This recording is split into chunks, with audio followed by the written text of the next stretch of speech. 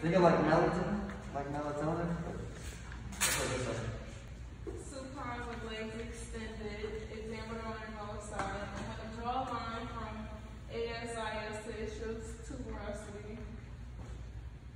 So, so far, does this sound like a familiar test we've already done, The face one. right? But this one, we're not actually like taking out a pen and drawing a oh, line. Oh, this isn't a manual line. Then you have to take off your clothes, and I don't get paid enough for that.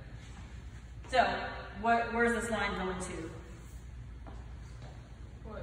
ASIS to the ischial tuberosity. So I'm gonna find the ASIS. I'm gonna say here, put your finger here. Alright? May I palpate your ischial tuberosity? See. Alright? Ischial tuberosity is up under there. I'm not gonna go digging for it. I'm just gonna go like this. As I flex them up, it's gonna stick out. So now put that back down. So now I have one finger on his ischial tuberosity. He's holding his ASIS. And then what landmark am I looking for in the middle?